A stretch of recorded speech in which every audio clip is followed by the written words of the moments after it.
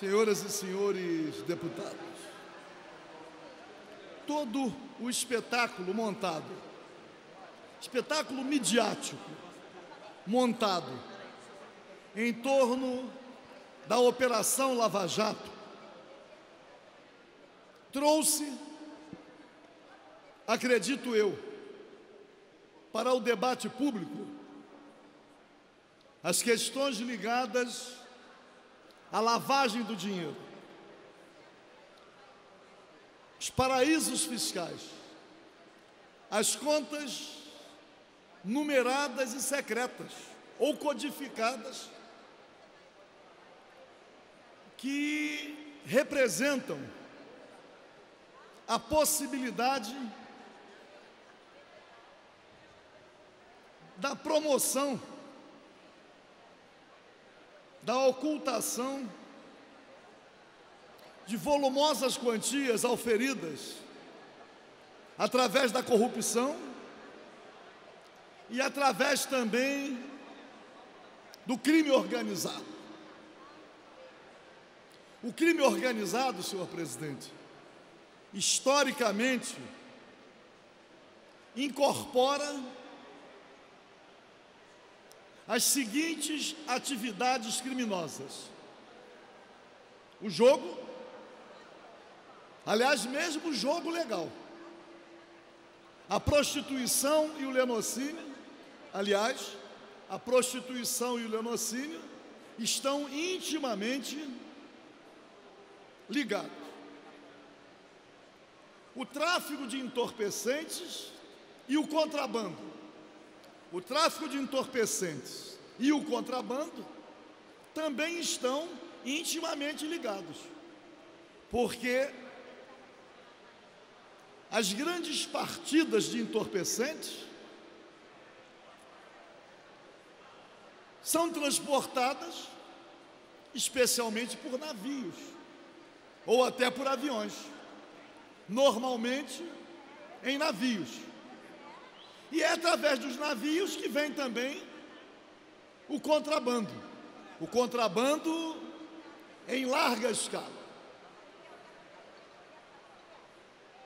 E isto movimenta volumes expressivíssimos de recursos financeiros que precisam retornar como investimento ao mercado legal. E aí, senhor presidente, qual a explicação para que ainda hoje haja paraíso fiscal, contas numeradas e secretas, movimentações financeiras que não são do conhecimento de qualquer órgão de fiscalização, ou nos países de origem, ou nos mecanismos internacionais de controle. E aí, senhor presidente, tomo eu conhecimento, deputado doutor Sadi Noel, que o Superior Tribunal de Justiça do Rio de Janeiro está realizando um seminário internacional de combate à lavagem de dinheiro e ao crime organizado. E recebeu como participante o juiz italiano Giorgio Santa Croce, que diz: combater o crime organizado que não respeita fronteiras e usa mecanismos de lavagem de dinheiro é o desafio do terceiro milênio na avaliação do juiz. É o desafio do terceiro milênio. Porque o crime organizado e também os desvios de recursos públicos, como estamos vendo nessa quadra da vida nacional, precisam,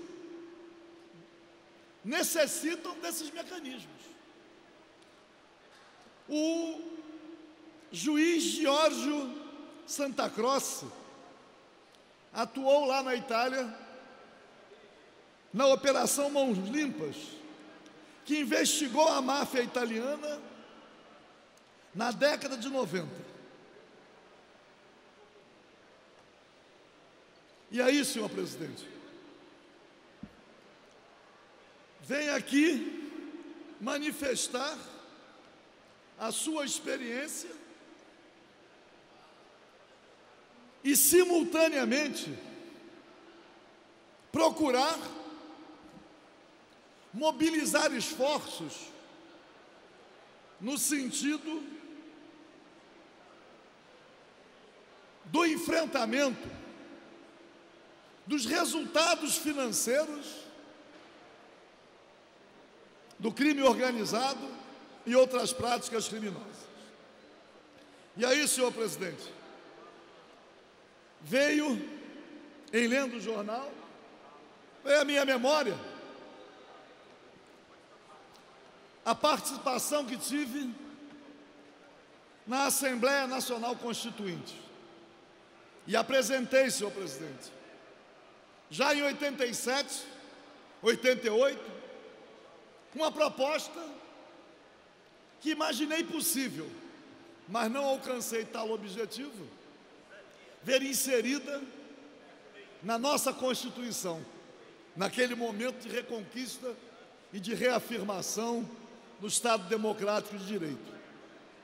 E a minha proposta dizia o seguinte: o Brasil não manterá relações diplomáticas e nem comerciais com países cujos sistemas bancários se utilizem do mecanismo de conta numerada e secreta e se recusem a fornecer informações sobre as movimentações financeiras feitas por brasileiros, pessoas físicas e jurídicas, ou estrangeiros residentes no Brasil.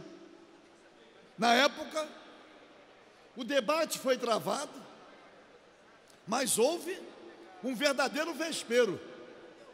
Por quê? Porque alguns países de grande prestígio adotam o esquema de conta numerada e secreta. Não apenas os paraísos fiscais, que os paraísos fiscais, a quase totalidade, são controlados pelas potências hegemônicas. Estados Unidos tem vários paraísos fiscais.